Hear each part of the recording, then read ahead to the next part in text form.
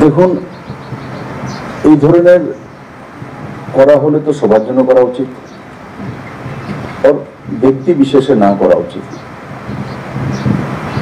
আর, রাজ্যের মুখ্যমন্ত্রীর দায়িত্ব মাতৃবত আচরণ করা। ওর ওই দিশাতে কাজ করা। নিশ্চিত মানিকবাবু সেই দিশাতে কাজ করার চেষ্টা করছেন পোস্ট ইলেকশন ভায়োলেন্স নিয়ে অনেকে অনেক কথা বলছে। তাছাড়াও কিছু কিছু বারবার আমরা বলেছি যে যারা এই ধরনের কাজে লিপ্ত আছে মানে তাদেরকে আমরা হুঁশিয়ারি দিয়েছি আমাদের পার্টির থেকে আমরা হুঁশিয়ারি দিয়েছি আমাদের গভর্নমেন্ট থেকে আমরা হুঁশিয়ারি দিয়েছি যাতে এর থেকে যেন নিবৃত্ত ওর ওই দিশাতে কাজ করা। নিশ্চিত মানিকবাবু সেই দিশাতে কাজ করার চেষ্টা করছেন।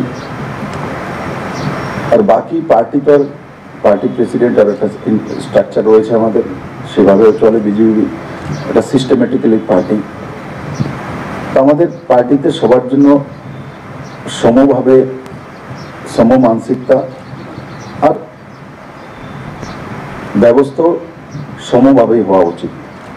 আমি পার্টি প্রেসিডেন্ট ছিলাম, এভাবেই চালিয়েছি। আমি মুখ্যমন্ত্রী ছিলাম।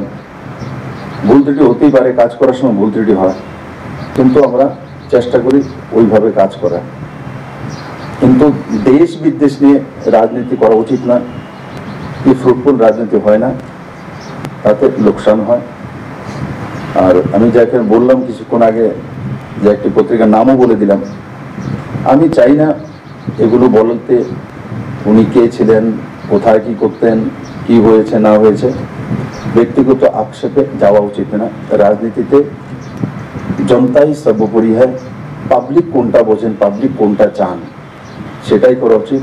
আর সংগঠনে আমাদের সাংগঠনিক নেতৃত্ব কি চায়, সেইভাবে কাজ করা এবং এখানের পরিস্থিতি ওনাদেরকে অবগত করা আর ওখানের পরিস্থিতি এখানে অবগত করা। কারণ আমিও একটা রাজ্যের প্রভারী আর এই যেই যেই পদগুলোর মধ্যে যারা রয়েছে, এইগুলোই আমি আসীন ছিলাম। তো স্বাভাবিকভাবে ছোট হোক, বড় হোক, এগুলোর এক্সপিরিয়েন্স আমার আছে। তো স্বাভাবিকভাবে আমি এটাই চাইব যে সবাইকে নিয়ে সংঘবদ্ধভাবে কাজ করা। আর ভুল ত্রুটি যদি কেউ করে, তাকে শুধরিয়ে এগিয়ে নিয়ে যাওয়া। এটা হচ্ছে এক সাংগঠনিক পার্টির দায়িত্ব। আর সেই দিশাতে আমাদের পার্টি নিশ্চিত।